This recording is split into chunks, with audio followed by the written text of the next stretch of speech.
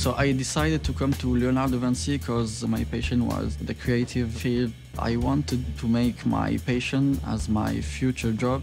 I'm someone who has always been very interested in innovation and new technology. I wanted to learn uh, different skills and discover uh, new career opportunities. I was looking for a school that allows me to express my creativity. And so I started here and I was very happy because there are a lot of different subjects to have the opportunity to you know try different things and see what I prefer, what I dislike.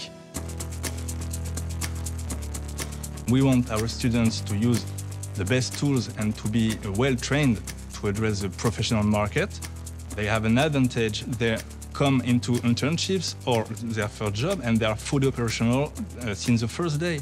The project we work on with my friend Marwan and Miriam, uh, it's an application where we are helping the expat who will work or go abroad for a new experience, a new life, a new job. So you have a map, you can move around and it shows in real time an average salary of artistic director, average rent in this area, and I can like navigate around different neighborhood.